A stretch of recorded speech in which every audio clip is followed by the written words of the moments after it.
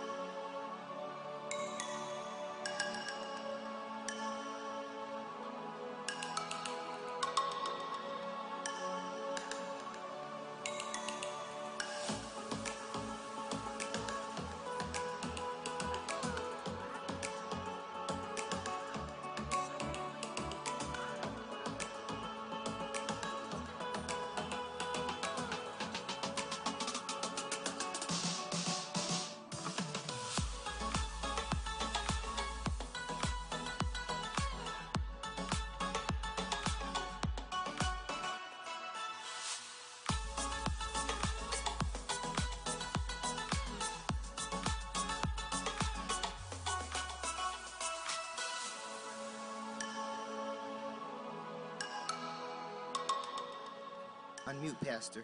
Unmute, Pastor. Unmute the pastor's mic.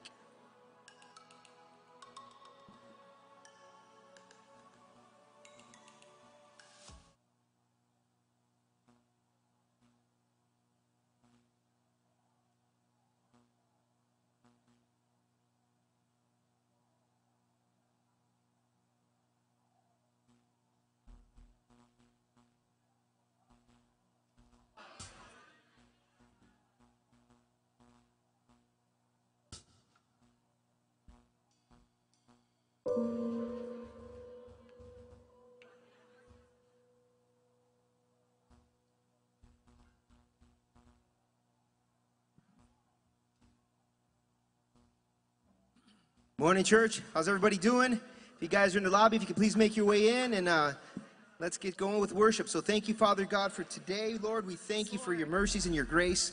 We thank you for calling us here together to worship you, Lord, in spirit and truth, Lord. We thank you for all that you are and all that you're going to do today. We love you. We praise you. In Jesus' name we pray. Amen.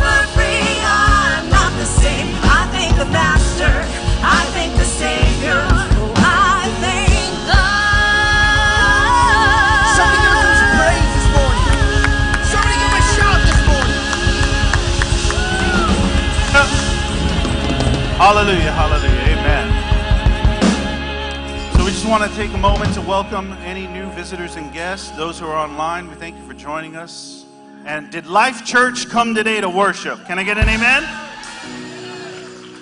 You see, I, I find it funny sometimes, and you know, sometimes people get excited. Have you ever heard a preacher excited before, right? And then, and then they, they, they may sometimes shout out, and I don't care how you came in. You ever hear that before? Well, I care how you came in.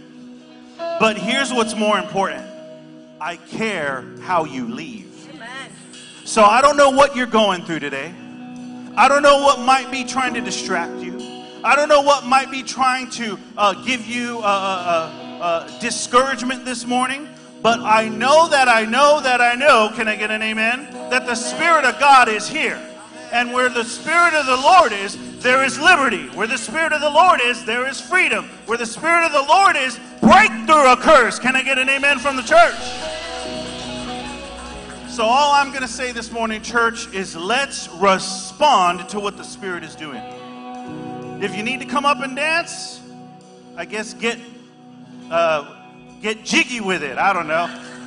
Can you show? But if you need to come up and dance, no, I'm not going to show but if you got to come up and dance, if you got to come to this altar and you got to just lift your hands and just say, God, I give all the problems to you, come do it, church. Because I tell you this, as you do so, I believe His Spirit will touch you and you will leave this place the same. Can I get an amen? Thank you, Jesus. God bless you, church. No one like God. Hallelujah, hallelujah. Still trying to catch my breath. Praise God. Thank you, Thank Lord. you, Jesus.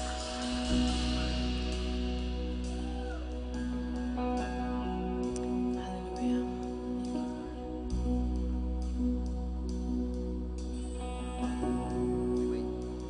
We wait for you.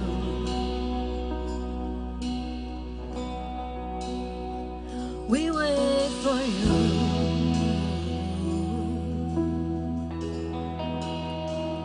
We wait for you, Jesus, to walk in the room.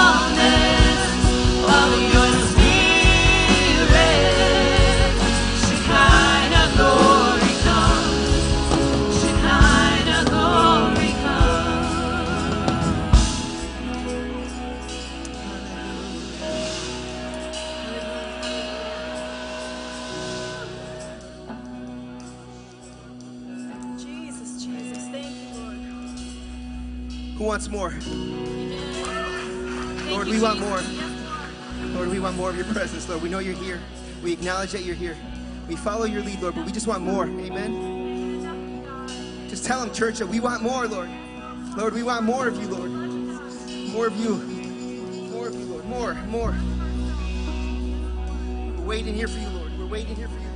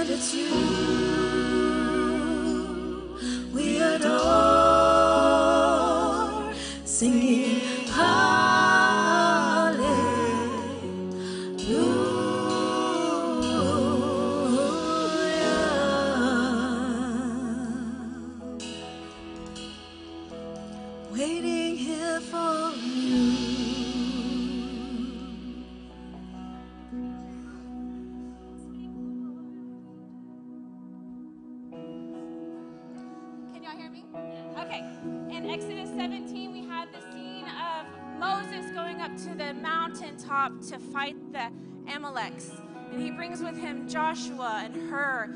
And he sees that if he holds up his hands, the enemies do not prevail against them. But when he, he's holding his hands up and the Israelites are de- defeating, they're winning in the battle.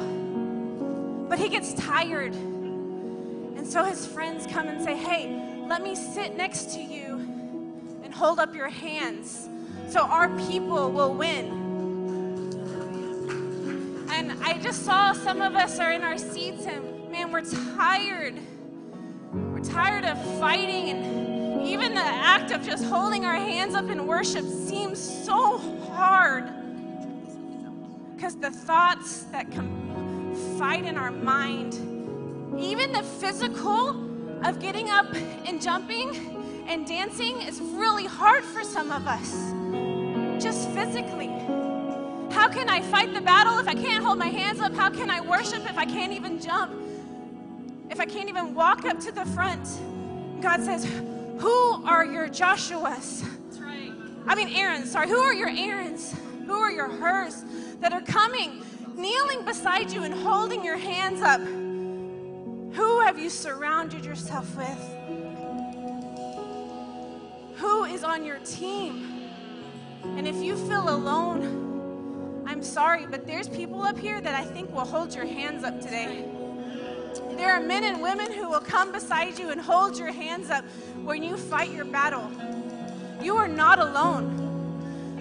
So if you feel that the act of even holding your hands up is too much, if you feel like the act of walking up here is physically impossible, hold your hands up. These men and women will come and get you. They will put you on their shoulders and carry you up. I have seen it done. So, Father, I thank you that we see in your word that the battle is not supposed to be done alone, but in community. And that there is power and strength and victory when we hold our hands up. That the enemies will not prevail. Want help, you want support, come up. I'll hold your hands up the rest of the day. So, Father God, I thank you for men and women who are not ashamed to say, I need help. In my battle, I need help. And that there are men and women who are willing to say, Hey, I will support you. Tell me your battle. I will support you. I will hold your hands up as we glorify and worship the King of Kings. We give you praise and honor. In Jesus' name.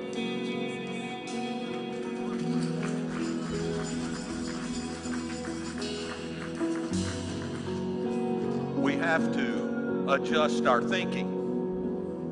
In the history of the church, particularly among charismatic Pentecostals, you'll get a word from the Lord and everybody hand claps and sits down. It was never given for a hand clap. It was given for help to be delivered.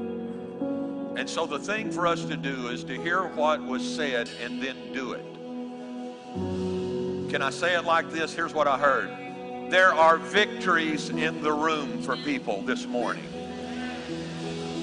The battle is going to turn for people this morning. And what it's going to require is for us to just get beside one another and raise our hands in unity together and hold one another's hands up all across this room and praise Him. That's what the word was. So, would you grab your partner's hand next to you across the room? And now let's lift our hands up and start to worship. And lead us through that song again. Together, we're going to worship, and right where you're at, God's going to release victory. God's going to release answers from heaven in Jesus' name. Hallelujah. We're waiting for you, Lord. Hallelujah. Worthy is the Lord. Wonderful, mighty God. Fill his house with praise. All powerful,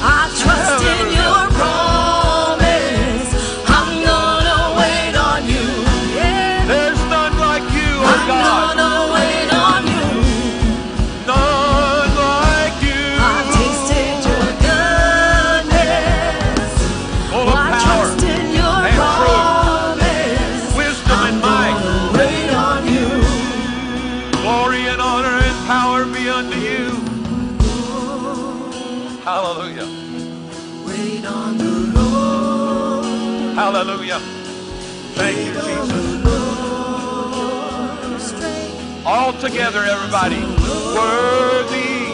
All across the room together. Worthy.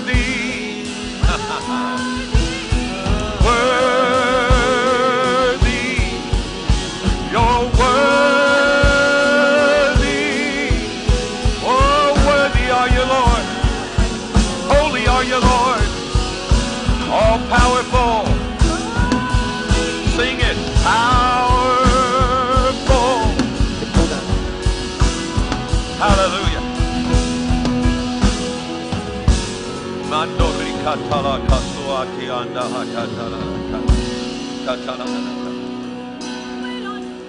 Now let's come into a place of agreement right now. Lord, that in the name of Jesus, you're striking down discouragement right now. And as the word came forth, it says we're tired that you're re- bringing refreshing in the place of weariness. Father God, you're causing scales to fall off of our eyes, and we're seeing hope where we once saw hopelessness. And where we thought it was an end, now we're getting vision for the future. That everything is changing because we've been obedient to praise you like you instructed us to do. Hallelujah. Hallelujah. Can I tell you something you already know? He makes ways where there seems to be no way. He opens up a path and brings water out of rocks and wildernesses. He splits seas open so we can walk through on dry ground. He makes ways where there seems to be no way. Amen. Isn't that good? Well, they're going to lead us in another song, but why don't you turn around and hug somebody and say, You look better than you did while ago?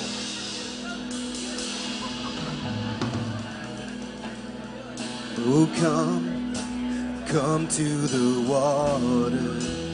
All who are thirsty, come and be filled.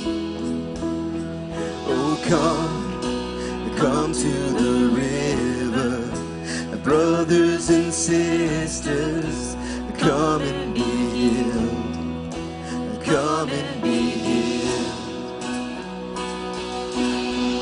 We believe in the kingdom come. We believe in the risen Son. You bring our hearts to life.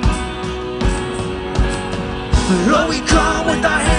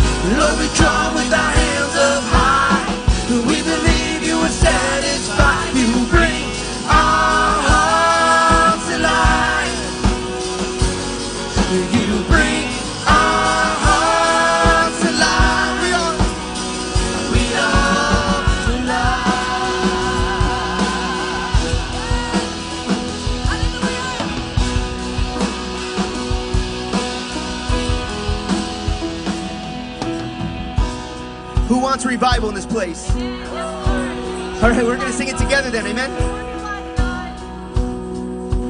All right, got to get ready here. Feel something's coming. Let revival come and let the people sing the glory of your name. Be glorified, Lord. Let revival come.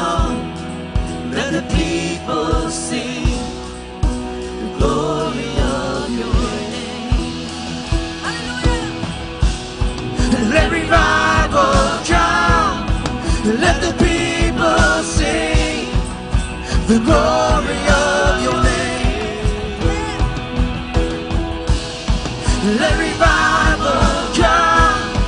Let the people sing the glory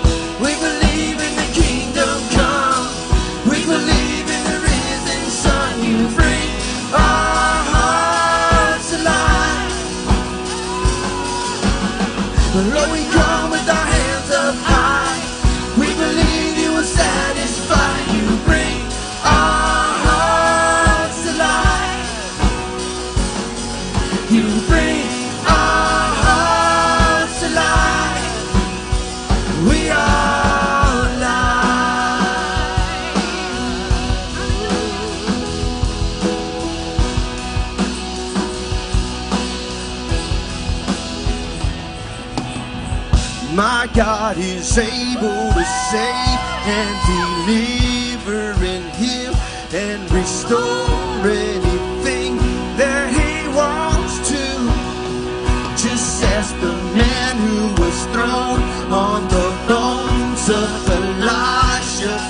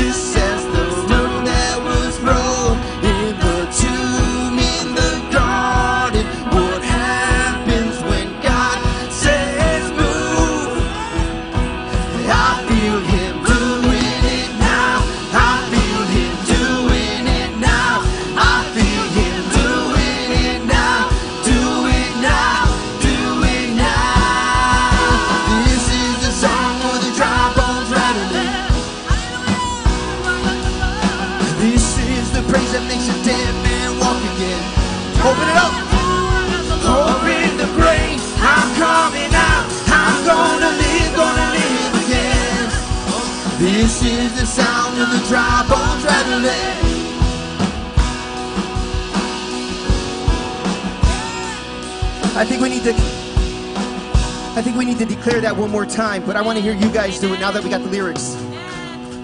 John, if you could put that up, please. My God. You can put that up again. We're going to sing that out, but we're going to declare it. Right? My God. Here we go. I want you guys to sing it with me. Amen? Here we go. Thank you, Lord.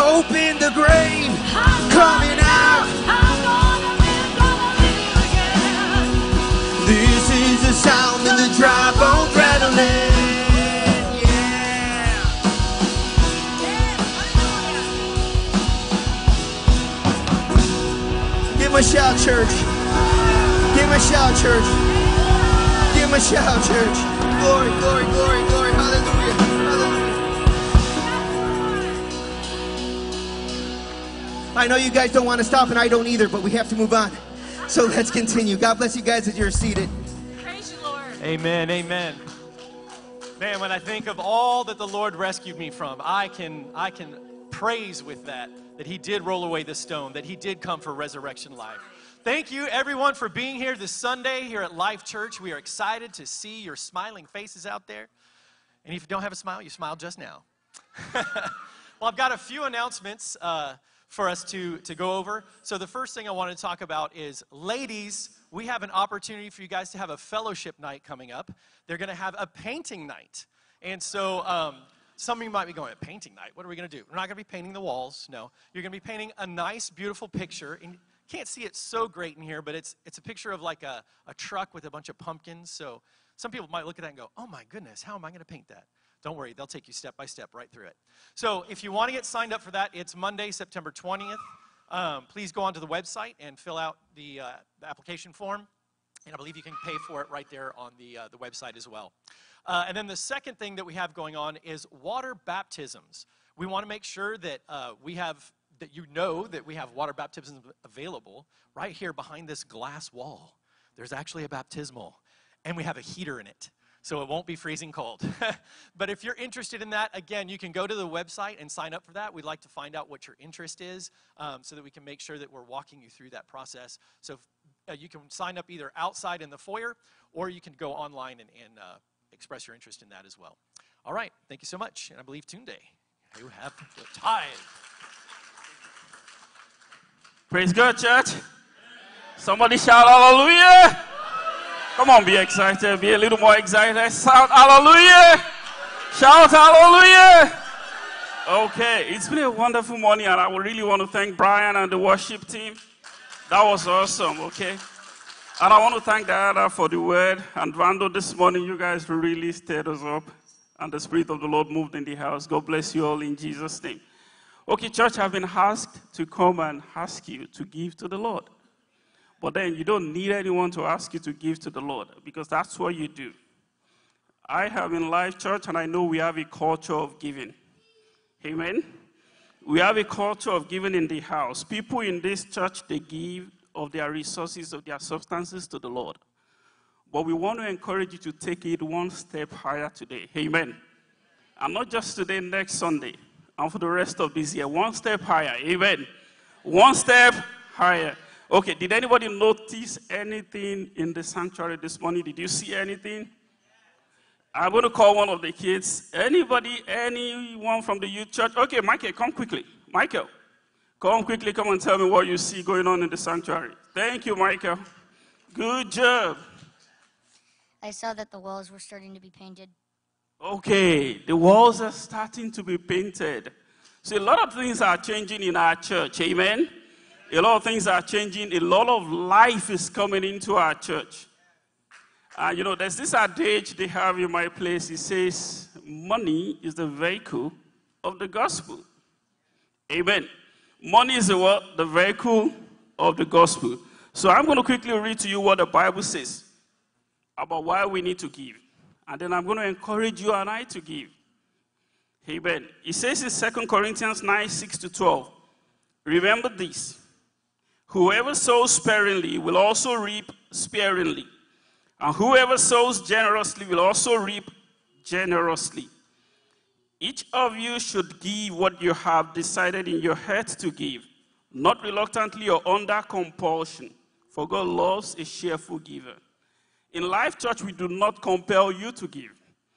You know, Pastor Kim especially does not want to force any of you or myself to give. Amen. But he wants to make sure that we understand the word of the Lord. That it is blessed to give than to receive. Amen. Every time we come into the house, we're coming to receive from the Lord. We're coming to receive good worship. We're coming to receive good air condition.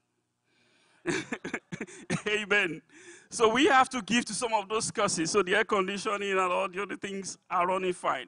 And can I give you a testimony? Life Church is doing fine financially. Okay?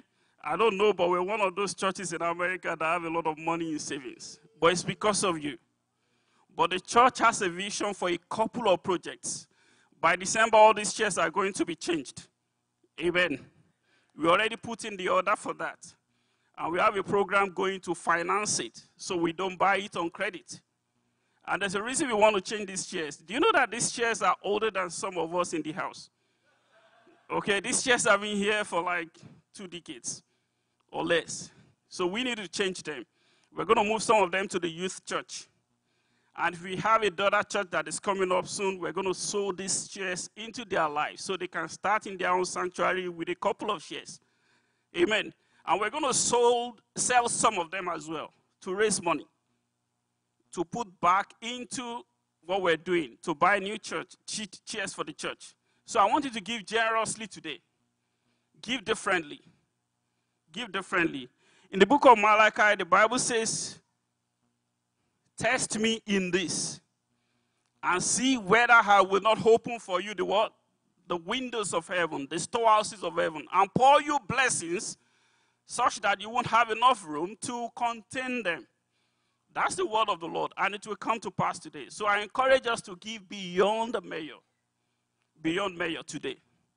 Beyond mayor. I like to give to the Lord in a way that is different. And my wife especially gives more than me. Amen. But we've seen what the Lord can do with such giving. We've seen what the Lord can do. I have seen it in my life, okay? I haven't been on salary for the past five years. The second year I came into America fully as a permanent resident, I started my own business. But I've been giving to the Lord. And He has been blessing me in a way that is remarkable. And most of the things that my family buy, we buy cash down. Okay, I have zero credit card debt. Not because of anything, but I have tapped into the secrets of giving. I understand it. So I want to encourage you to live like that. I want to encourage you to live like that. Can you rise up with me this morning as we give in a different way and as the ushers go around? I want us to pray. Amen.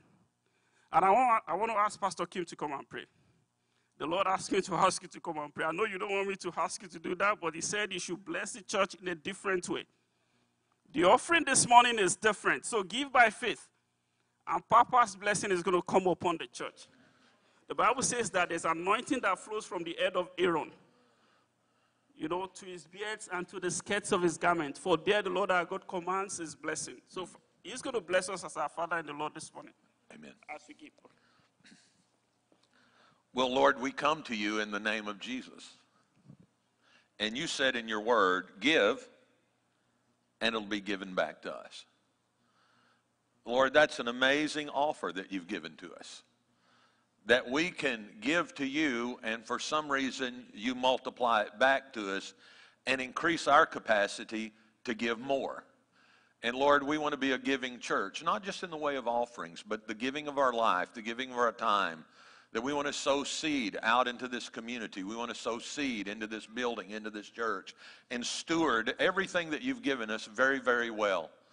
And Father, so I'm praying that this significant moment, as Tunde has brought to our attention, that as we give today, you will bring financial breakthroughs for people.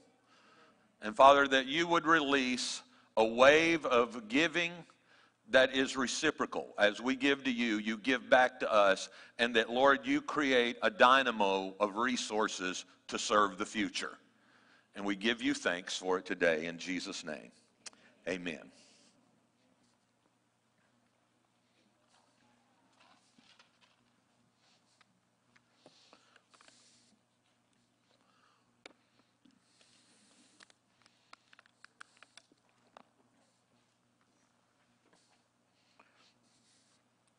Well, thank you, everybody.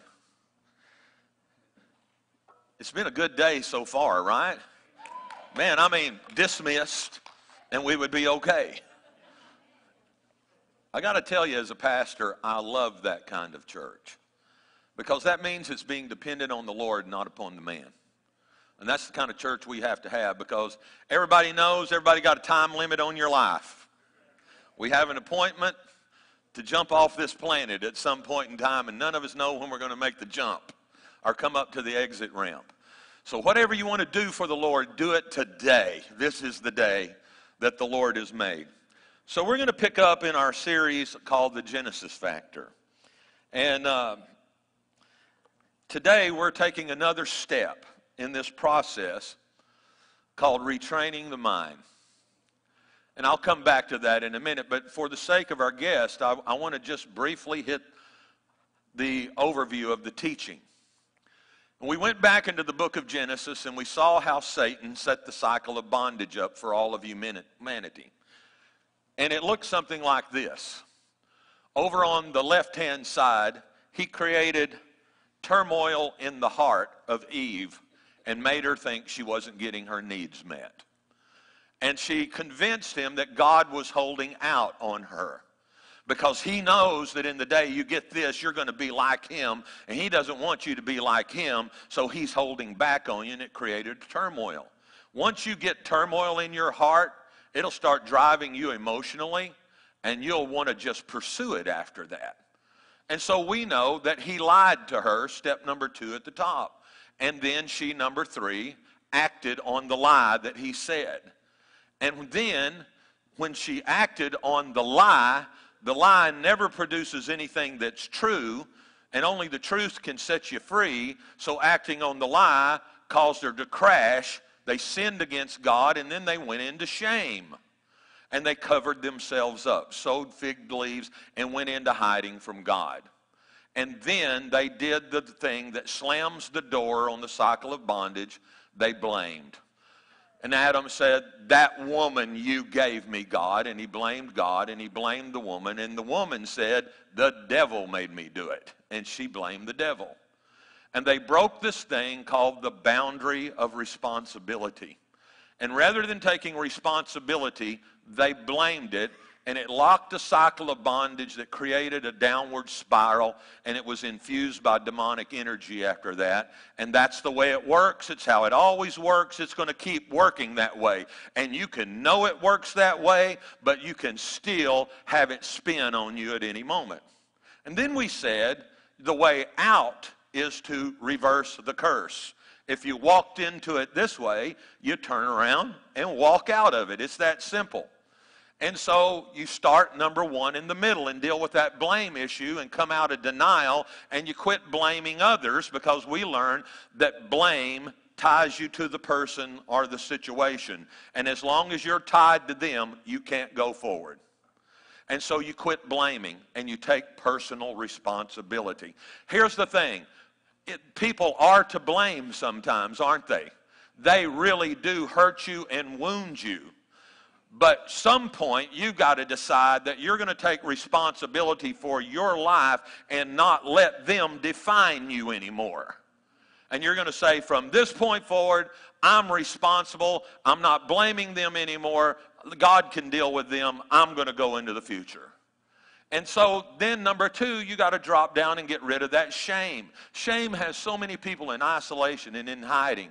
And you got to dissolve the shame. And we talked about how to get forgiveness, and we worked through those things. And then, number three, to the left, we talked about healing the root cause. That old unmet need that caused the turmoil in the heart has finally got to be dealt with. And we said, the scripture says, repentance is like laying an axe to the root of the tree. And so we dealt a couple of Sundays in that. So today we come to a proactive thing called retraining the mind. Remember, Jeremiah said that when you want to bring something new, you have to root out, destroy, throw down, and then build and plant. So those first three things are rooting it out, destroying it, get ready. So now we're ready to start building and planting for the future. And the first thing we're going to do to rebuild is to change the way that we've been thinking about life and to think about it the way that the Lord wants it to think.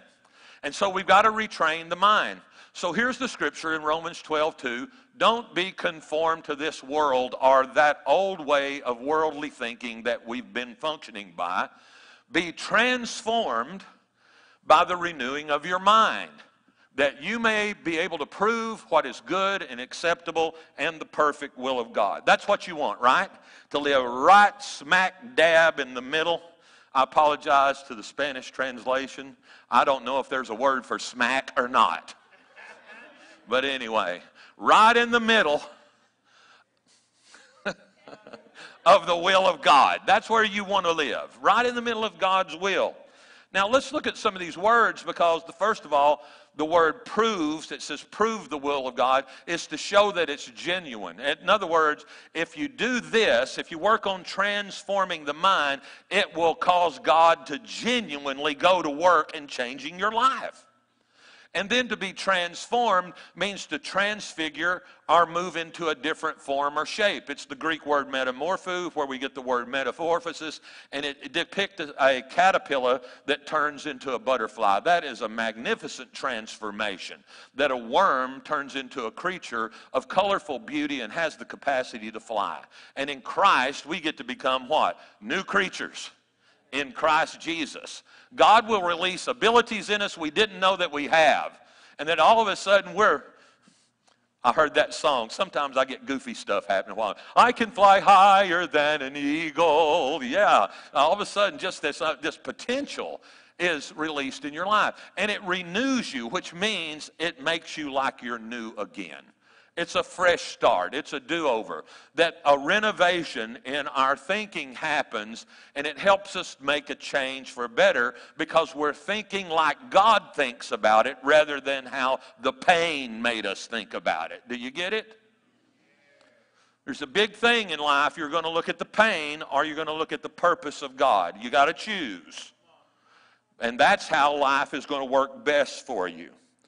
And so we were conformed to this worldly pattern of thinking, and that's how the enemy developed that addictive mindset in our, our mind got set on the things that wounded us or the needs that weren't being met. And we created these rules for the road that we would live by based on that pain and struggle. And then we started living all of our lives by those rules, and they never work. They never get us where we want to go. So basically, we're wanting to retrain our thinking from thinking like that to thinking with the mind of Christ, or to think like Jesus thinks. And how many of you know sometimes you have to tear down some old monuments of pain before you can build a monument of glory unto the Lord and reconstruct? This morning, I want to take a look at Peter as an example because Peter experiences a personal crash that gets him off track with God's purpose in his life. And Jesus speaks to him in Luke chapter 2 and says, I tell you, Peter, before the rooster crows today, you're going to deny me three times. Not so, Lord. I'll never deny you. And so all of a sudden, we find this story where Peter actually denied the Lord. He crashes and he's guilt and shame ridden now. He's not able to function well. And the thing that he does is it starts to create that turmoil and shame in his heart, just like the cycle. And he's asked by this man, You know Jesus, don't you? And he, Peter, replies, Man, I don't know what you're talking about. And just as he was speaking, the rooster crowed. And the Lord turned and looked straight at Peter.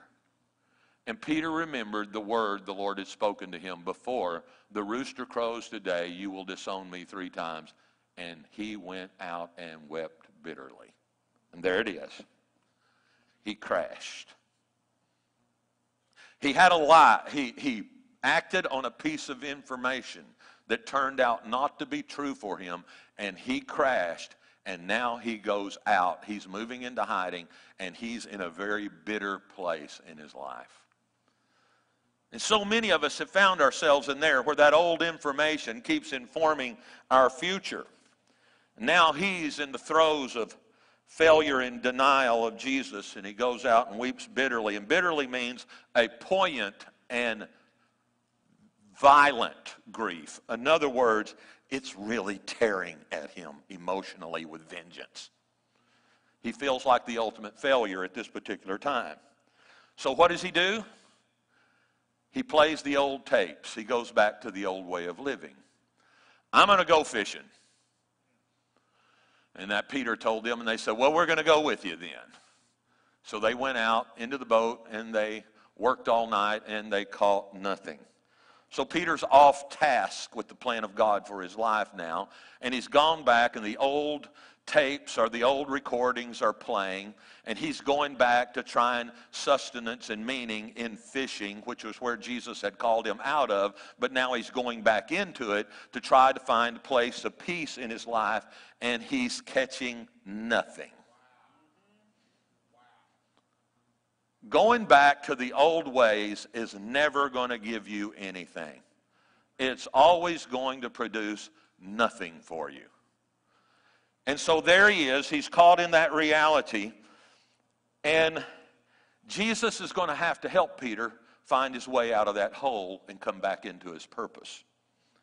So, in that little passage, there's four essential truths here in John 21 is how Jesus got Peter back on track with his purpose and his calling in his life. And he's going to help him look at these four important life lessons. They're four important life lessons for us. We really need to get this because it'll help us relate to Jesus better. And the first one is you are not omnipotent, only God is. You got to go ahead and accept the fact that you are not all powerful. Now, all of us is in here will say, I know that. Well, then quit acting like it. Because when stuff happens, guess what? We start figuring out what we are going to do without inquiring of the Lord. In fact, we'll make decisions for God, won't we? Some of you are kind of looking at me in that funny kind of way. I hear people pray sometimes and they're just telling God what He's going to do, is what they're doing. By the way, God has a word for you this morning. You're not the boss of me. Uh, he just wants you to know that. You're not His boss.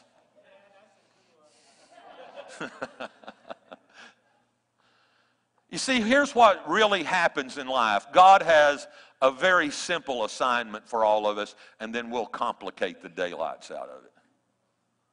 We'll turn it into more than what he's asking for.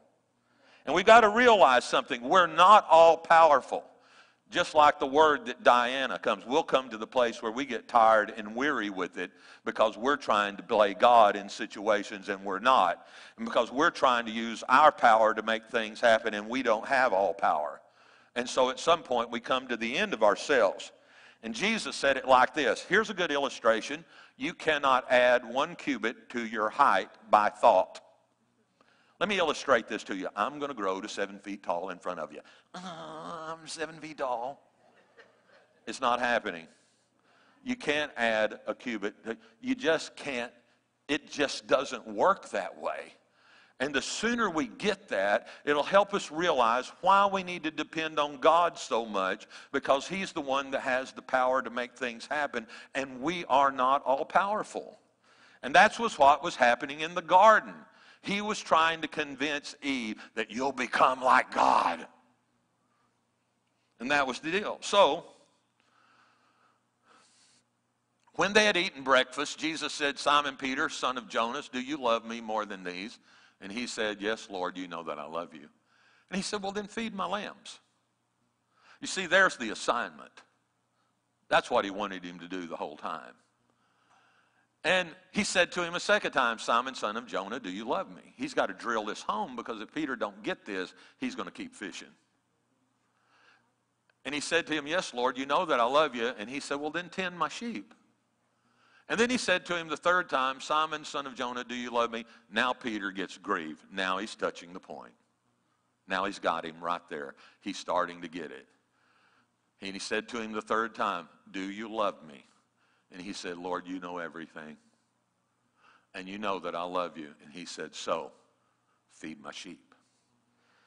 And so, right there, we see that Jesus has to move Peter's focus off of himself and move it back over on Jesus. Because that's where the purpose is. Everybody, I don't know what's going on in everybody's life in here, but I need to tell you until you shift your focus back on Jesus, you're never going to step into the purpose that's going to fulfill your life because He designed the purpose for you and He's the only one that can give it to you. Everybody okay? Let's take a little commercial break and just lean over to the person you're sitting next to and say, I'm pretty sure he's talking to you this morning.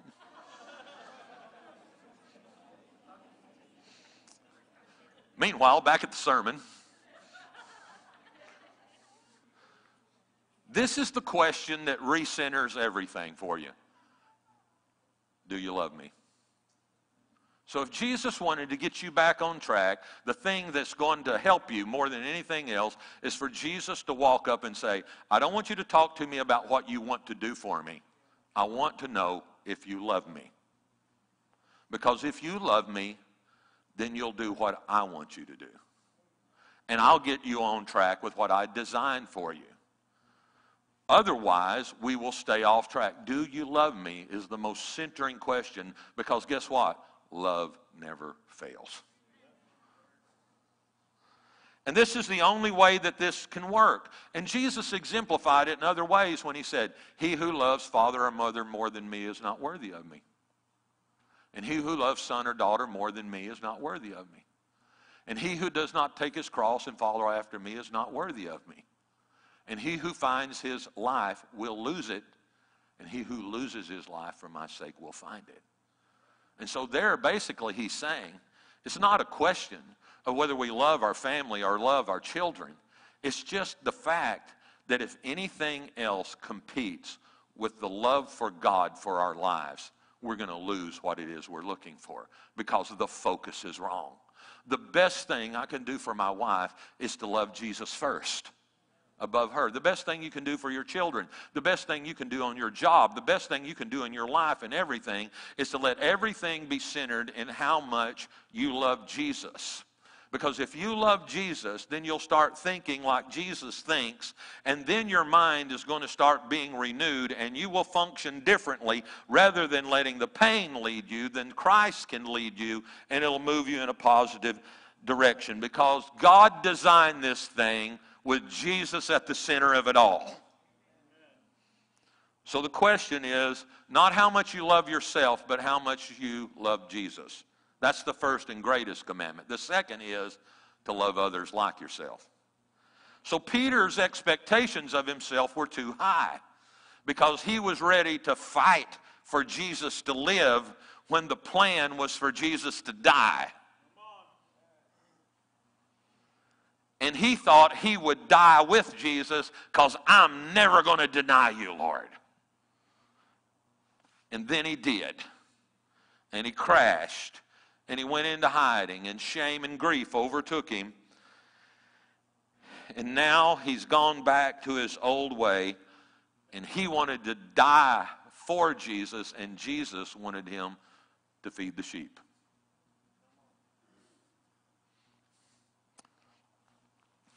Jesus has never asked you to take his place. Only the Savior can die for your sins.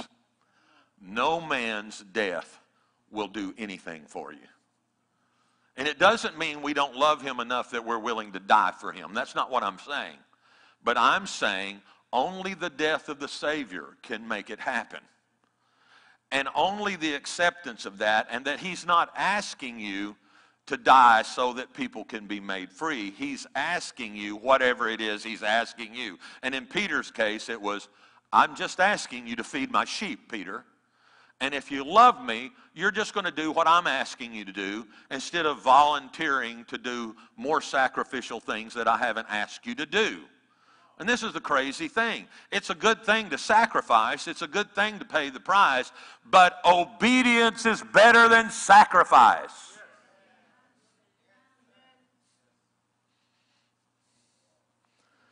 Jesus had to get him out of the past and get him up in the here and now and to focus on what God's assignment was for his life and where his purpose was. So the first lesson is we are not all powerful.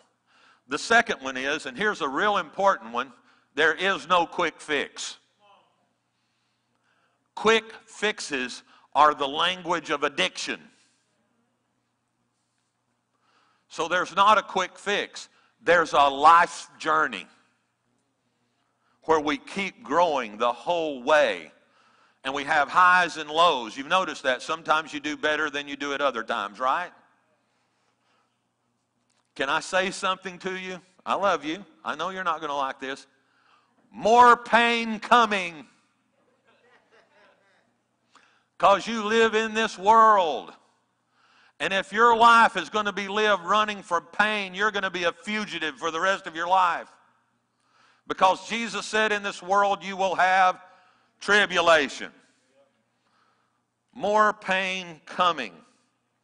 And basically, Jesus starts telling him, Peter, you're going to suffer some more in the future. Most assuredly, I say to you, when you were younger, you girded yourself and walked where you wished. But when you're old, Peter, you're going to stretch out your hands and somebody else is going to gird you and they're going to carry you where you don't want to go.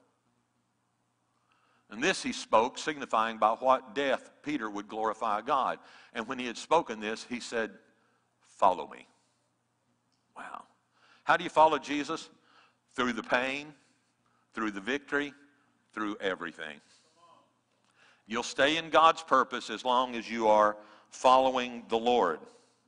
And so we've got to reprogram our thinking, everybody, that there will be more complications and difficulties in life. They're inescapable. You know what I'm talking about, right? If you don't want something to upset you, then don't get in your car and drive down the street because you'll be aggravated before you get to the next stoplight. There's always someone that's going to get aggravated at what you do and signify to you how they're number one.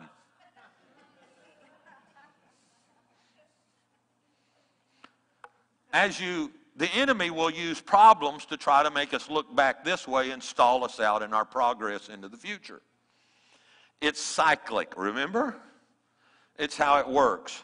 So, pain, number two, cannot be avoided in this life. We live in a world where God granted humanity free moral agency.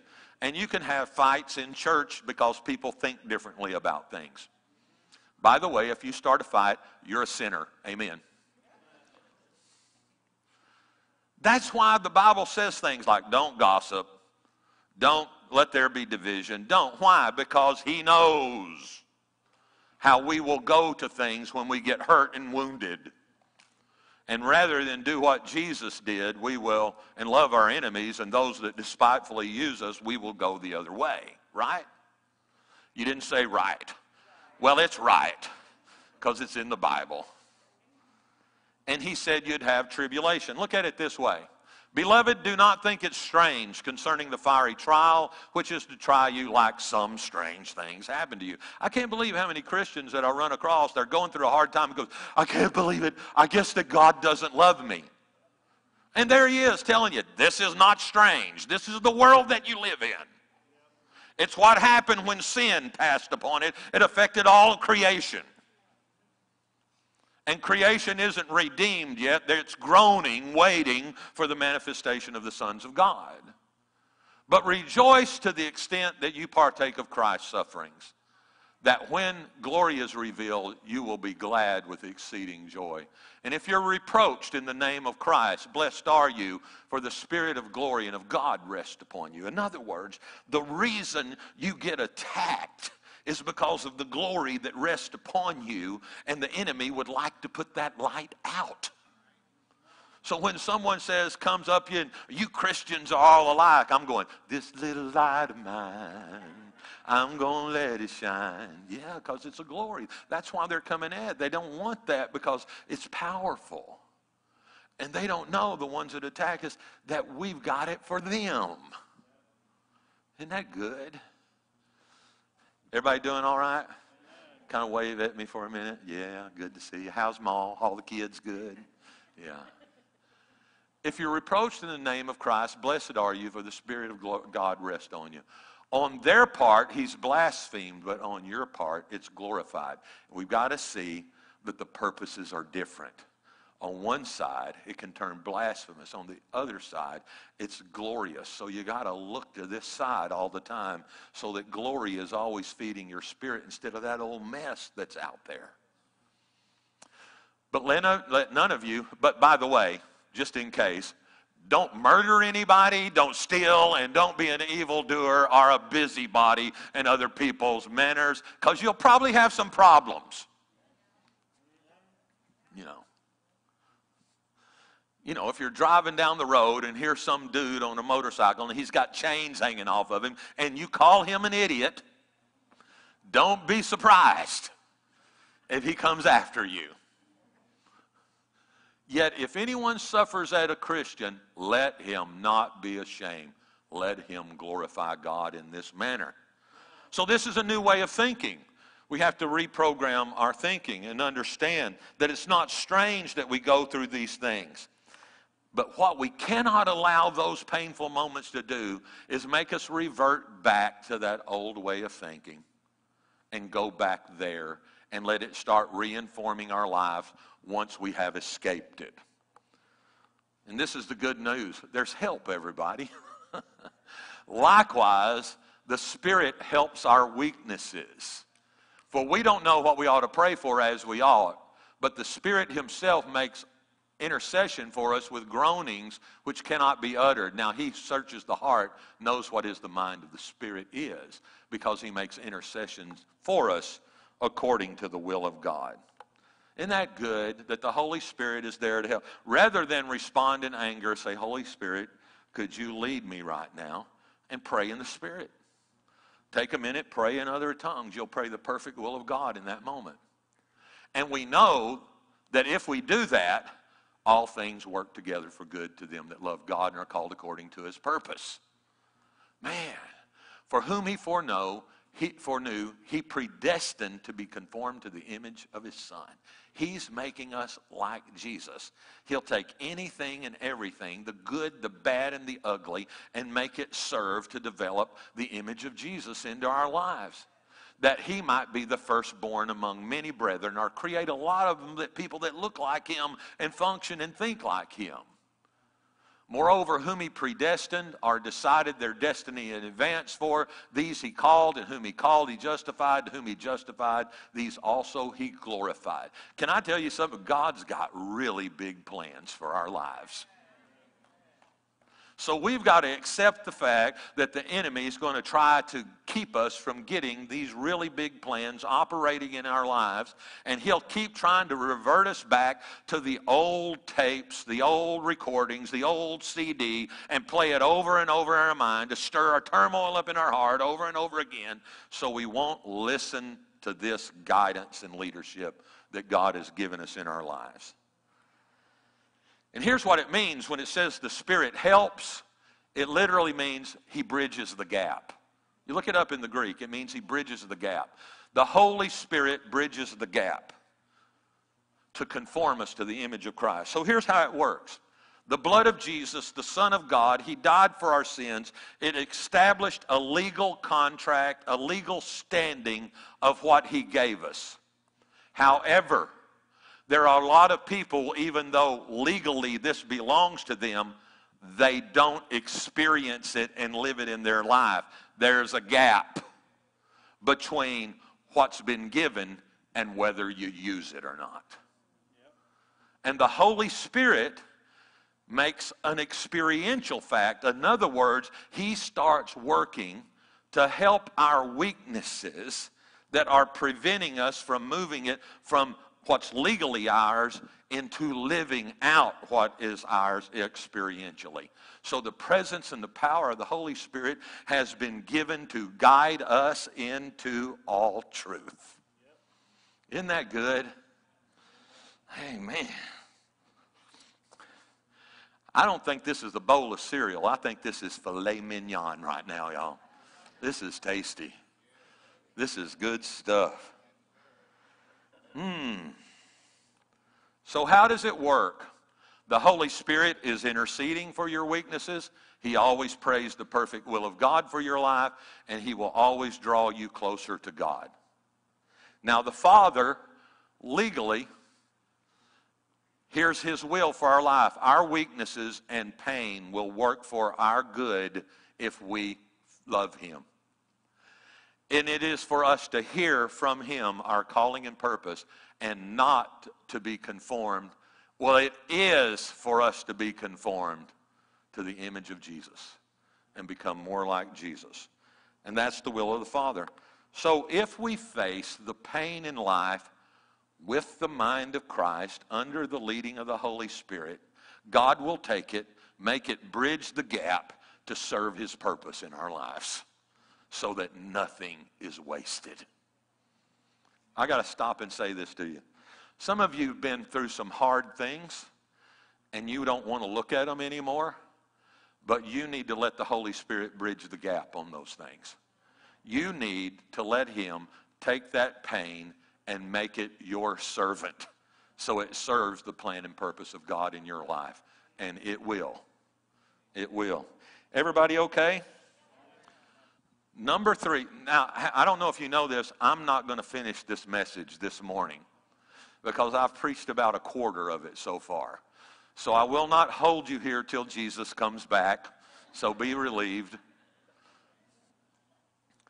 But I'm going to cover these four points. Number three, you are not to compare yourself with others. Then Peter, turning around, saw the disciple who Jesus loved following, who also had leaned his head on Jesus' breast at the supper, and he said, Lord, who is the one who betrays you? And Peter, seeing him, said to Jesus, But Lord, what about that man? And Jesus said, If he remains till I come, what is that to you? I told you, follow me. Lord, what about that person that hurt me? What is that to you? Follow me. See, the answer is in the following. It's not in meting out judgment to someone.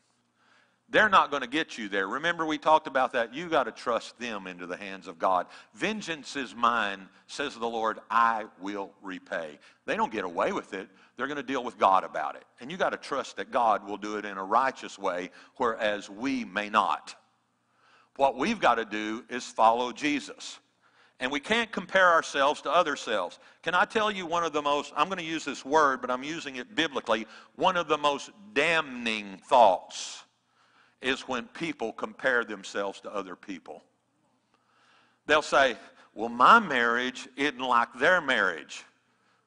And they've got this fantasy thing that they've created in their mind, and for all they know, they may fist fight when they go home. You don't know.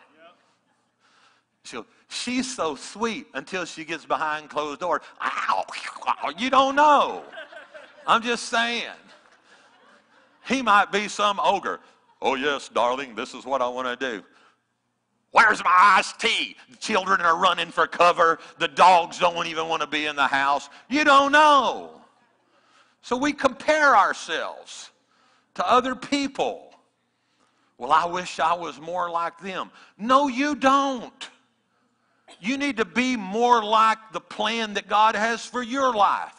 Well, I want to be like that football player. No, you don't. You're not them. You have a different set of gifts and callings that make you uniquely you. God has a hymn that He's put in your heart, and it sounds like this I've got to be me. It's not a hymn, but you got to be you. You got to be who God made you to be. You're going to be a poor substitute trying to imitate anybody else. You can't do that. Well, they're just so popular. Oh, come on. I'm moving on. Some people are even trapped in this area because they feel like they have to take care of everybody else while they're sabotaging life. You can't fix everybody. And this was Peter's problem. Jesus had some instructions for him that was different than his instructions for John. And that could seem unfair if you look at it in those kind of terms. What about him? And from that point forward, what Jesus was saying to Peter, you just got to focus on following me. You're getting back off track. You're looking at other people again. You're looking at whether they get to do something or you don't get to do something. And that's what got Eve and Adam in trouble back there in the beginning. And the, you know, you're, you're comparing with the knowledge of good and evil. Well, it's good for them. It ought to be good for me. That's a nutty kind of logic. Well, if they can, I can. Really? If they can jump off the cliff, so can you. So something is not always can you, it's whether should you. You understand? Everybody okay? Hmm.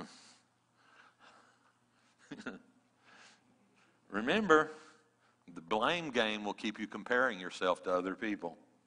So here's what the Bible says We dare not class ourselves or compare ourselves with those who commend themselves but they measuring themselves by themselves and comparing themselves among themselves are not wise. There's one thing you compare yourself to, it's not yourself. Because that leads to pride and self focus. We compare ourselves to Christ and what He has for us. When you have the biggest train wreck of your life, don't run from Jesus into hiding. Compare yourself to him. Let the mirror of his word reflect the dirt, wash it off, and re engage. And stay on track with him. So let me say this one more way, and I'll move to the next point. Jesus is saying, when it comes to what other people do in life, the spiritual word is none ya. It's none ya business. It's none your business. That's a Greek word, by the way. No, it's not. But here's what it's going to take ultimately. So you're not omnipotent, right? You can't compare yourself among yourself. But you can spend some time with Jesus. You can follow him. You follow me. And from that point forward, as G- Peter made the decision to follow Jesus, and that started to become his lifestyle. He went back into the purpose and became a tremendous apostle who sacrificed himself for Jesus in the future. Wrote gospels that we're reading from today, impacted the world that he lived in. But he had to learn not to do all these other things that we've been talking about and to follow Jesus. From that point forward, it became between Jesus and Peter. Can I say this to you? Everything that happens for your life, it's between you and Jesus. It's that simple. If you get it settled there, you're going to be okay. If you get it settled there, he'll tell you what you need. So all the old failures were dealt with, everything was taken care of. Circumstances and Peter and people were no longer his guide. He just followed Jesus. And the roller coaster rides of up and down starts to smooth out a little bit. Even in the midst of tribulation, steady focused on Jesus. Now, this is the same Peter because I want to show you how extreme this can go. This is the same Peter that Jesus had to turn to in Matthew 16 23 Get behind me, Satan. You're an offense to me. For you're not mindful of the things of God, but the things of men. There it is. You can easily flip over and think with the things of men and not the things of God. This is the same Peter who, a few verses previously, said, You are the Christ, the Son of the living God. So one minute he's in the heights of revelation and spirit leading. Who do men say that I'm? You're the Christ. You're the Son of the living God. Peter, Peter, flesh and blood did not reveal that to you. Only the Father could have shown you that. A few verses, a few breaths, and all of a sudden, not so, Lord. You're the devil now. You went right over there, started thinking like the devil. You joined up with the mind of man. One minute you're walking in Revelation, the next minute, boom, that quick, you flip over and play the old tapes, the old CDs. We got to get how this thing works, everybody. Because the enemy punches your buttons. And the buttons are always those old wounds and old turmoils. And he can poke them just right. It spins. Everybody okay? oh, Lord. Here's the gigantic problem. You can take out the addictive root, you can cut it, but if you don't take care of that addictive mindset, you'll find yourself going back to familiar patterns. You got to change the way you think. We got to be transformed by the renewing of our mind. We've got to look to Jesus. Amen. Huh, I wonder if I could finish this. It's only 11:30. Hey y'all, I got this. I got this. Yeah. I want you to consider how the brain functions so you'll get this. So, information comes into you by what you're seeing, right? You're seeing. You can see all kinds of things. You can see joyful things. You can see injustice. You can see meanness. You can see prejudice. You can see everything. And what happens is it comes in through your eyes and it goes up into the part of your brain called the cor- cortex. Let me get down here to it. And the cortex is where you evaluate everything. And because on what you see and hear, and it'll help you figure out if you're being attacked or you're being threatened by things in life. Now, here's what the problem is. If your brain has been trained according to the pain and the wounds and stuff that you've gone through in life, then that pain will imprint on how you see things. And you will interpret it off of the pain and the wounds and the hurt unless Jesus is leading you. And so then it drops down into the limbic system, which is where emotions get added to the thinking. Now, all of a sudden, you ever had this happen to you? You have, hadn't you? Where you thought back to something and all of a sudden you're getting emotionally mad about it all over again, even though it was 10 years ago. It's because that filter came through, that painful thought dropped down into the limbic system, added emotions, and there it is going again. And from there, it'll drop down into your brain stem, which forms another function, which is how you're going to physically react to it. And that's where people's blood pressure starts going up, respiration comes up, they start to shake a little bit, and it's going to be fight or flight. One of the two. And that's how the brain works. And so the enemy knows all this. But here's the good news that can change. And what I'm going to show you is how you can change it. But it's going to take some work because we got to work to be transformed in our thinking so we can be changed. And Jesus said it like this If you hold to my teachings, let me tell you, things will happen to you, and you're going to have to hold to the teaching because you're going to want to get off of it. Hold to the teaching, then you'll know the truth, and the truth will set you free. There's got to be a decision made early on in this process where you hold to the truth.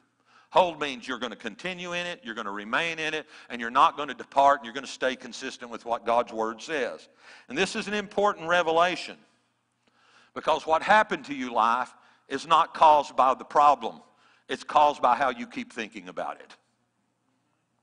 The problem happened a long, long time ago. What hasn't happened is us quit thinking about it. So the problem is that we continue to respond on the basis of those things those faulty, untrue conclusions, and they feed into the way we process life and what we will or will not commit ourselves to do. So you got to do two things. You got to flesh out all those old lies and all that misbelief that we've picked up over the years. And second, we've got to saturate our minds with the truth. And this is called meditation in the Word of God. You've got to have some time in the Word. And what happens is, the script is that we're putting off the old and putting on the new, like the scripture says. Ephesians 4 22, 24. For you were taught with regard to your former way of life, put off your old self, which is being corrupted by deceitful desires, to be made new in the attitude of your mind, and to put on the new self, created to be like God in true righteousness and holiness. So there it is. Those are the choices. They're set out there crystal clear for us. So we're understanding that we're dealing with mindsets. Our mind gets set like concrete on things. And this is what it says in Romans 8 5. I know I'm going fast, but hang on. For those who live according to the sinful nature have their mind set on what nature or the natural man desires. But those who live in accordance with the Spirit have their mind set on what the Spirit desires. The mind of the sinful man is death. The mind controlled by the Spirit is life and peace. And there it is. We've got to think on the Word of God. We've got to think according to the leading of the Holy Spirit. And that we need to break that old addictive pattern. Do not be conformed any longer to the pattern of the world. That's the Genesis factor. But be transformed by the renewing of your mind, that you will be able to test and approve what God's will is, His good, pleasing, and perfect will. Now, I'm going to show you how it works now. You got to reprogram what you see. Because when you see, you're going to do th- three things. What you see, you will start talking to yourself about it. Self statements will start, and you will evaluate it, and you will develop expectations about it. Isn't that right? I mean, that's what we all do. It's the natural process. We see something, goes to the cortex, and we start thinking. And we'll start talking to ourselves, well, I don't really like that. Or, you know, or I said, oh, that was really cool. I thought that was really good. You know, and we evaluate. I think I'd like to do that in my life, and that, you know, maybe I could get that done by next week. And I start to create my expectations, and I'm, it's just how I process, right? And we all do those kind of things. It's very important. But we make self statements. That means there's an inner murmuring or talking that starts to go on. And this is what happens negative talk, remember the process of the rain, triggers negative emotions that trigger negative responses. Positive self talk triggers positive emotions and triggers positive responses. So somehow, when we see an injustice, we got to figure out how we're going to talk about it in a positive way, like God sees things. Because it doesn't mean God approves of it either. But I'm talking about we got to have a God kind of response, or we'll go negative with it.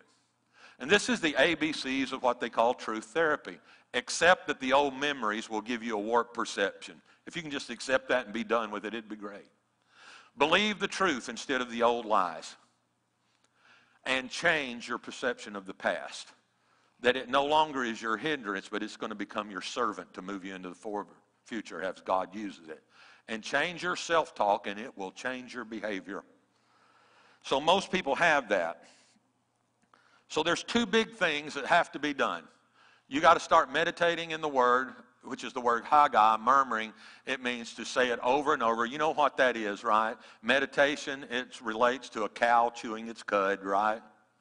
He chews it, gets the juice and nutrients out of it, swallows it, brings it back up, chews it, does it again, brings it back up, does it seven times. He's going to get all of it out of it he can for nutrients. And you will keep him in perfect peace whose mind is stayed on you because he trusts you. And you can trust God. And maybe here's just a little tool for you. Why don't you start writing down what God's saying to you so you can go back and revisit what he's been talking to you about? Now, we come to this thing called, we start the internal evaluation. And this is the process where you start asking yourself questions based on what you see, and emotions start charging in. And this is where you see the rat rejection. Are you being attacked? Are being, being threatened? That's the rat. If the rat gets loose, you're in trouble. Expectations, then it moves from there to sometimes unrealistic expectations carry very strong emotions. And expectations become problems when they turned into a must. This must happen. Now you put a death sentence on it. Everything crashes unless it happens. And how many of you know everybody doesn't cooperate with you? And cease to extend grace if you do that and you'll start turning judgmental. And you know what the Bible says about being judging things and what measure you judge, it shall be measured unto you. Everybody okay? I'm just showing you how this thing works. So you got to balance your expectation. Here's a good one. How about having a sense of humor for a change, for crying out loud? You're an idiot. Yeah, but I practice at it. Hallelujah. What do I care what they say? I'm not going to base my life on what people say. I've got to base my life on what God says. Have a sense of humor. Sometimes, we, well, it wasn't perfect. Well, that's okay. When you got me as a pastor, the church ceased to be perfect then. It's never, you know, where, where are we going with this kind of stuff? Learn to relax a little bit. You know what the kids used to say? I don't know if they say it anymore, but we used to. Take the chill pill, right? Relax. Give God a chance to do something.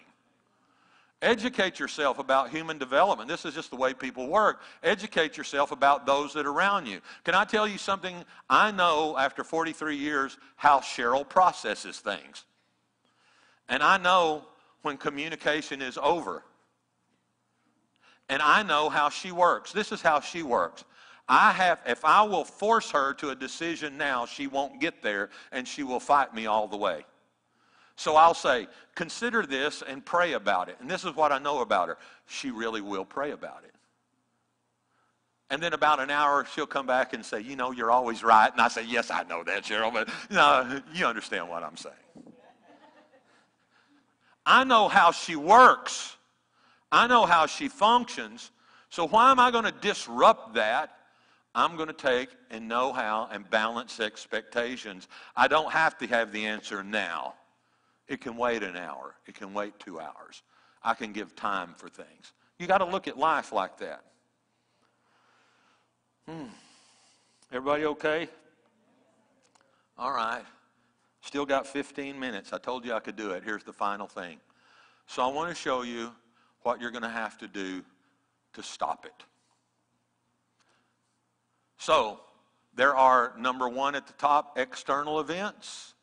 And then number two, there are internal events, what happens inside of you. So, frustrations, irritations, injustices, abuse, you see them and your brain starts, you start talking to yourself, evaluating expectations. It starts to get emotionally generated and you start interpreting is this a rejection? Is this an attack? Am I being threatened? And now it's all about you. And it will reflux because there are hormones and adrenaline supercharging you. You are a rocket on a launching pad now. And you will reflex. I mean, automatic, reflex. You will reflex into anger and fear. It will be fight or flight at that moment. Somewhere between what you see and the rat, you got to catch it. Because if it gets to the rat, it will run wild and reflex on you. And you will lose the control of that moment. You got to catch it when you're talking to yourself. You got to catch it when you're evaluating. You got to catch it while you're forming expectations. You got to invite the Holy Spirit in. You got to learn to hit the pause button and do some more talking to yourself. Right now, I'm really angry.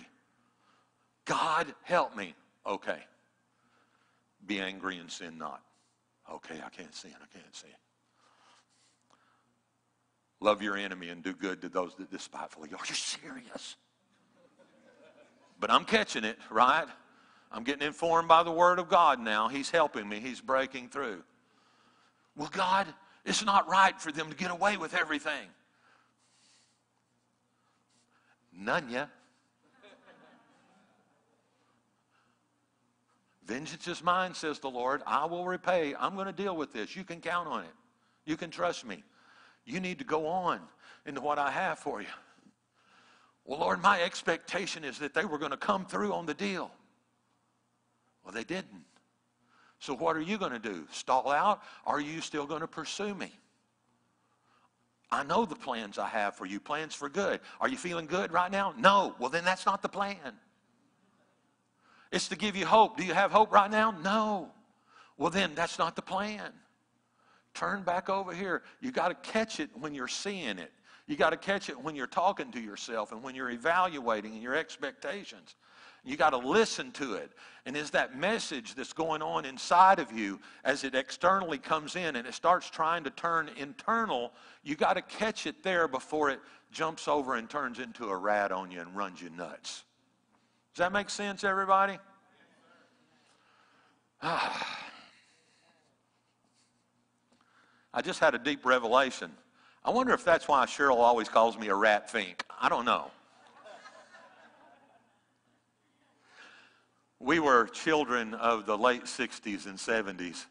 So there was this big rat creature with Hot Rod magazines, and his name was Rat Fink. So Cheryl said sometimes, as I tease her and pick at her, she'll go, You're a rat fink. And I said, Cheryl, nobody knows what that is anymore. But maybe this is why. Maybe she, you know, I don't know. I'm just teasing. She's watching.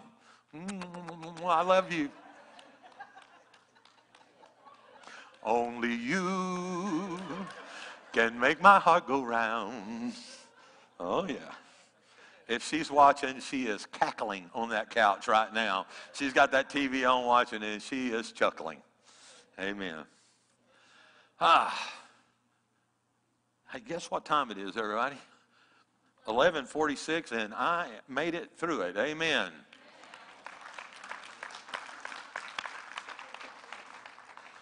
So we had a good time of encounter with the Lord earlier. This kind of message that I'm sharing with you is one that's going to start working as you leave the church. It's going to come up all week long. It's going to come up in your dealings and situations when offenses come, when cruelty comes, when meanness comes. And you got to say, okay, I got to see this right. I got to see it from God's eyes. I've got to make sure I'm making decisions based on the scripture and not what my supercharged feelings are telling me right now. I don't want this rat to bite me and start the bubonic plague in my life. I've got to catch it. This is the discipline that is required for the renewing of the mind. And remember, healing is cyclic. Victory, victory, victory, plateau. I feel like I'm going backwards, but it turns up again. And you keep adding, adding, adding, adding until you come out of it and you're better. Amen. How many of you by now you've identified that there are you've identified some things that are that that generated in your life out of that old unmet need. You've, you've seen that. And you see how it challenges you in life from time to time in those old tapes. All I want us to do is to make a commitment today that we are going to get busy retraining how we think. That we're going to get rid of the old tapes, the old CDs, the old podcasts, whatever we're going to call them. When I say tapes, I don't think anybody knows what that is anymore. Maybe they do. I said, How do you listen to Scotch tape? I don't get it, but you know what it means. You have some. eh? Yeah. Awesome, awesome. But we don't want to live by that anymore, everybody. And we want to say, Lord, we want to give him an invitation. Renew my mind. Transform the spirit and the attitude of my mind. Transform me to think like Jesus thinks. He endured the cross for the joy that was set before him. But this is a wisdom that comes apart from what this world tries to make us get locked into. And earlier we had a word that we're, you don't have to be tired. If we could choose to go on this journey together as a church, I can tell you something. There won't be room for the people out there that need the help that God wants to bring. And it won't be me, it'll be you and me together. It'll be us as a people because we're working on living by the Word of God. And we're learning how to say to one another, What are you seeing right now? What are you seeing right now? I'm so mad. Well, what are you seeing? Well, I'm talking to myself like this. And when I evaluated it, this is how a conclusion I come to. And these are the expectations I've had. And none of them are working out real well. What does God say? What does God say? And so you could have come in here this morning and you're right at that place. You're right at that place. You could have come in the door talking to yourself about something. I know how the drill works. I've done this a long time. I've come to the church. I know you won't believe this. I walked in the door as Cheryl and I had an argument in the parking lot and come in and say, Good morning, everybody. Because I'm your pastor. And I have to pause and go, All right, all right. Because we're just people, we're just perfect. You got that about me, right? I'm just a man. And after 43 years of work, Cheryl and I function real peaceable. She finally figured out how wise I am. It's incredible. I Love you.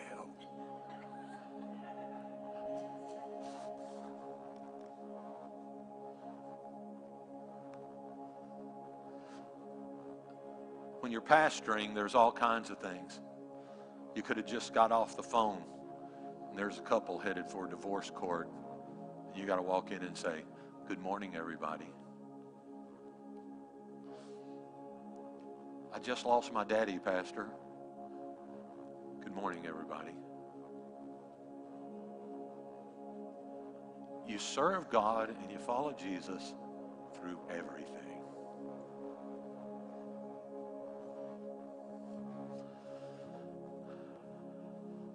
So you could have come in here with some stuff not going well, and you didn't even cause it. It could be decisions that other people are imposing on you. And you came in the door talking about it to yourself, and nobody would have known it. And you feel like, man, this didn't go in how I wanted it to go at all, evaluating it. My expectations, they're pretty well dashed. I don't have a lot of hope.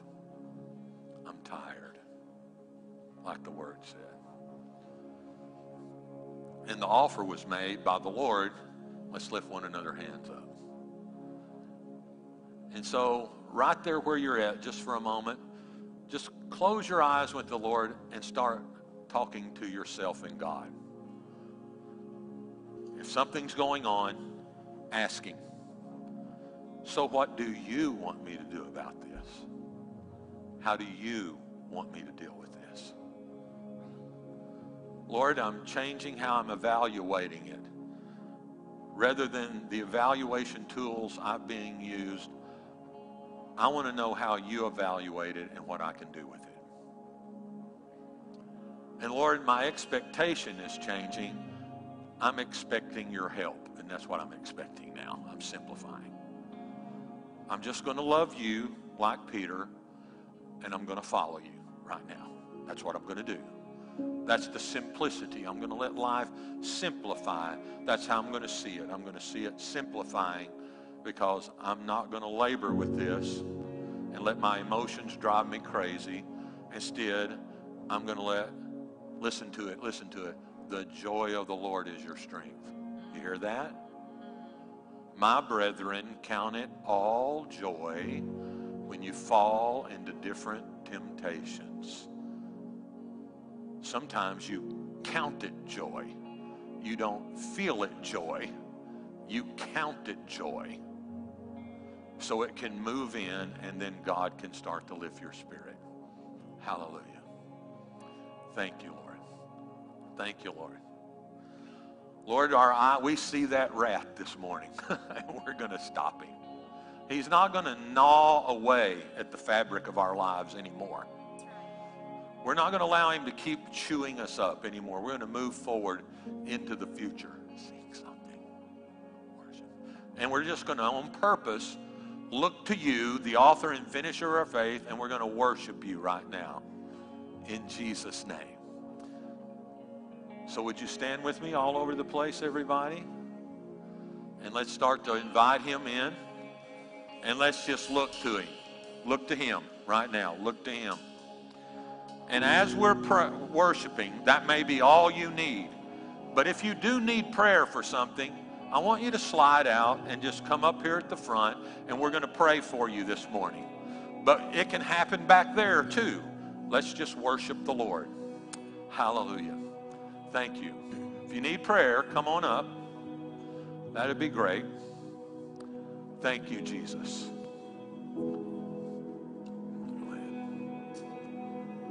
Thank you, Jesus. highest praises, Lord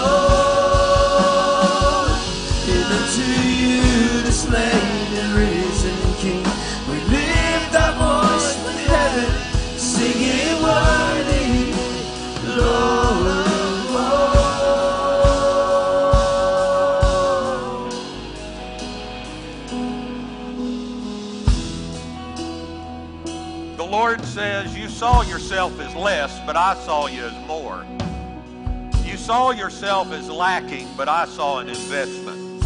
I saw something to give my life for. The enemy would tell you that there's no hope, but he is the liar and the father of lies, and he's lied from the beginning. There is hope, and hope in abundance, and hope in an overflowing measure for you. That I have a plan for you, and it's a plan for good. And no devil can stop it. All you got to do is look at me and follow me. All you got to do is say, Yes, I'm going to pursue you, God, with all my heart. And when I talk to myself, I'm going to speak your word, Father. And I'm going to say what you say. And you say, I am more than a conqueror through Christ who strengthens me. I'm going to say that you have sent me a helper that will guide me into all truth and comfort me. I'm going to say that you've triumphed over the enemy and crushed him openly. I'm going to say what you say. I'm going to evaluate circumstances with a step of faith that no matter how bleak it looks, I'm going to declare that you're the Prince of Life and that you make a way where there seems to be no way. I'm going to say my expectation is in the Lord and my confidence is not in the flesh, it's not in what people can do, but it's in a God that makes a way where there seems to be no way. I'm going to say that you are the King of Kings and that you are the Lord of Lords and that you are the Lord of glory and that you and you alone are worthy of my praise and my attention. I glorify you, God, in Jesus' name. We are not defeated. We are victorious. We are his people. We are the apple of his eye. He has chosen us. We are his beloved in spite of what this world says. We are whom he says we are. Hallelujah. Hallelujah. Hallelujah. Let's worship him with all of our hearts. Lord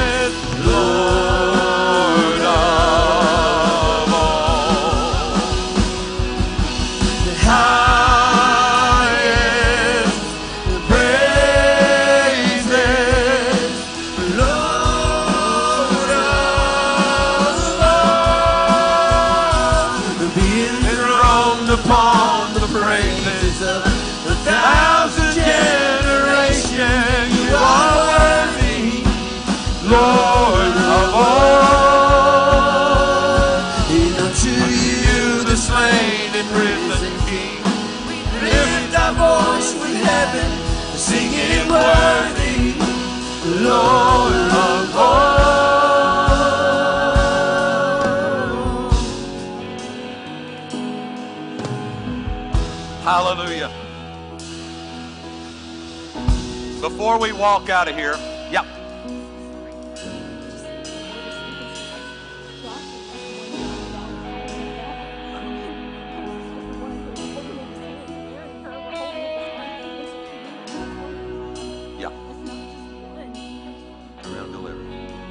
Listen to this word. Thank you, Lord. You know, God speaks pieces to different people, and Lord just put this on my heart to follow up. Uh, what Diana said is so true, God. Know, think about that picture for just a minute. Aaron, mean, uh, sorry, uh, Moses is up on the mountain, and Aaron and Hur are holding up his arms. And by the way, Moses was sitting down. He was so tired. He was sitting down, and Aaron and Hur were on either side of him holding up his arms. But who was fighting the actual battle? Did you guys catch that? She mentioned it. It was Joshua. He was down in the valley. He was leading the troops of Israel to fight against the Amalekites.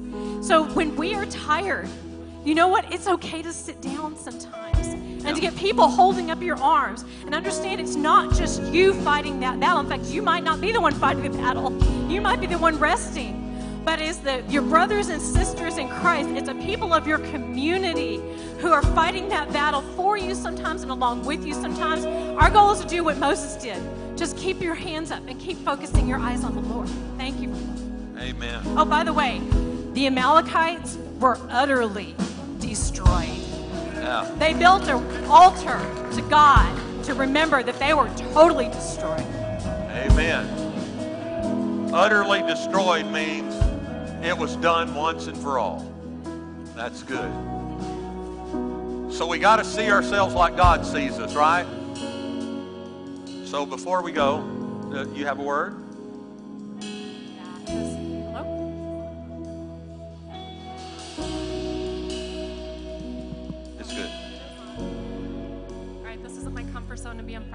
Everybody, but um, it's really been put on my heart just hearing the awesome sermon that you preached. And I feel like there's people here that are facing Goliaths in their life. They feel like it's bigger than them. and they don't know how to defeat it.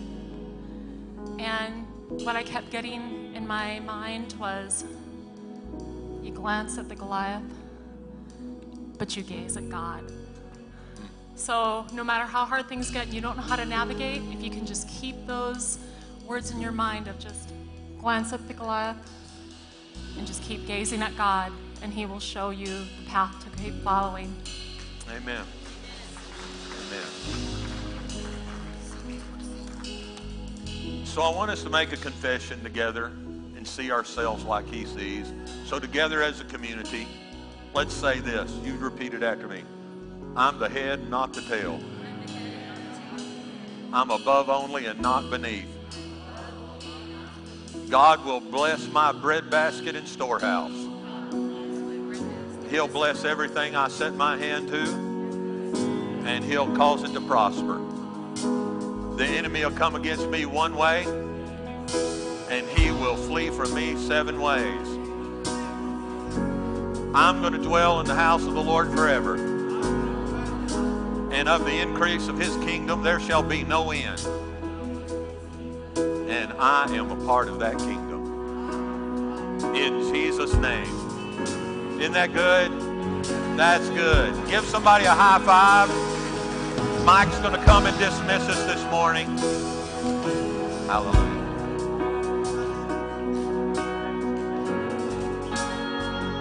Amen. Have you guys been blessed by the word this morning? Amen. Have you received your touch from God this morning? Amen. Amen. If you're joining us for the first time, we want to thank you for joining us. It was a pleasure and an honor to worship God with you this morning. If it's your first time on your way out, Pastor Kim will be in the lobby. He would love to meet you. He would love to shake your hand and thank you personally for coming to Life Church. But we would just want to pray blessing over you guys this week. We pray that the Lord will bless you, the Lord will keep you.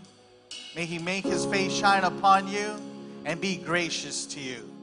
May the Lord turn His face towards you and give you peace. So on the way out this this morning, we had a chance to thank God for the week before, and uh, and I heard someone say, when you thank God after the fact, we call it gratitude. But when we thank God before He does something, we call it faith. So, on the way out this morning, can we walk in faith, thanking Him for the things that He is going to do uh, in the week to come? Amen. So, we thank you, Lord, and let's thank the Lord this morning and sing some praise on the way out. In Jesus' name, amen. the streets of gold. I'll sing of how you saved my soul.